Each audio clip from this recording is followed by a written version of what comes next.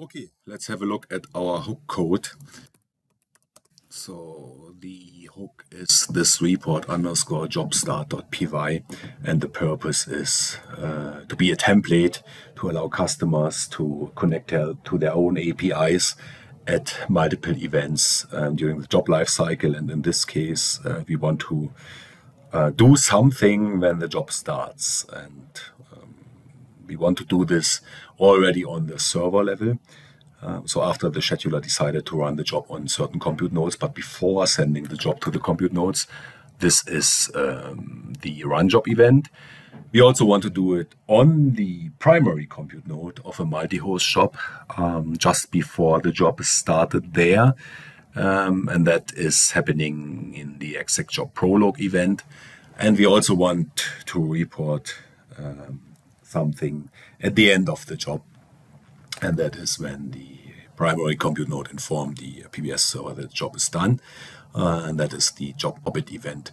And yeah, we just see the hook code here. Let's quickly go through uh, the structure of this file. It's pretty simple. We have a header here.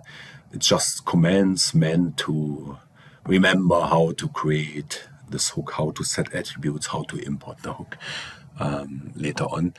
Um, we import the PBS module. This is, of course, important so that we can access all of the objects we need to access, like the job and all of the job's attribute.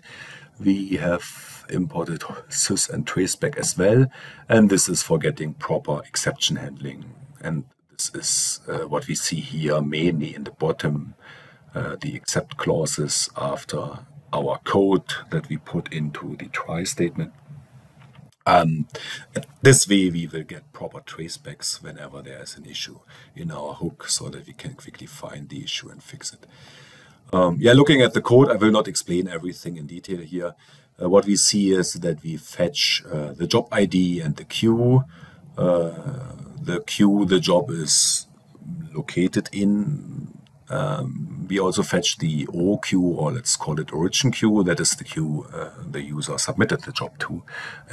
And can be different because the job might have been routed from the uh, queue the user submitted the job to to some other queue because the initial queue is a routing queue and but there are other reasons why the effective queue might be different from the original queue. Looking at um, the code further down here, uh, we see that in the case of the run job and job obit event, um, we get the list of execution nodes this way. So it's a bit different uh, compared to how you do it on the compute nodes. And then we just log all the details um, so that we see if it does work properly. And at this point, we have all the details needed to report something to their API so they can put their code here then.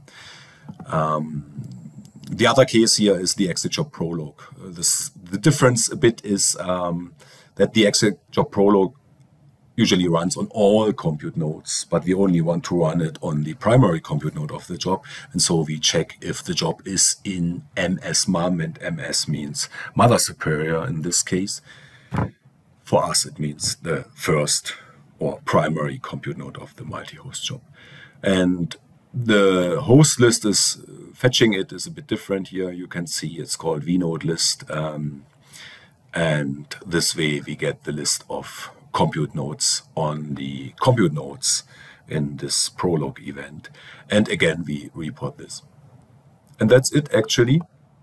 So the remaining task is to create the hook, to import the hook code and to test it. So let's do this.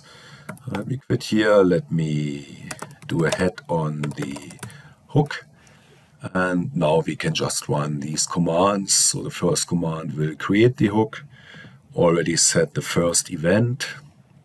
Um, ah, that's my mistake, unfortunately. So the hook already has been uh, created, but that's not a big issue. Let's just leave it uh, like this.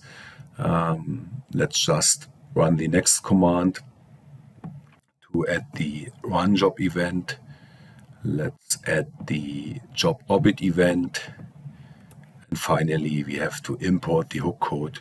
And after this, PBS will automatically distribute this hook to all compute nodes. So you, we just maintain hooks on the PBS server.